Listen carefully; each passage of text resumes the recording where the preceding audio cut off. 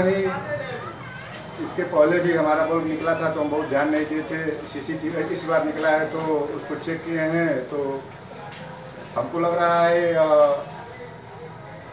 मतलब उसको भेजा गया है और यह टेलर था, आगे इससे भी बड़ी घटना हो सकती है। इसलिए प्रशासन से निवेदन है कि मतलब इस पर उचित कार्रवाई हो।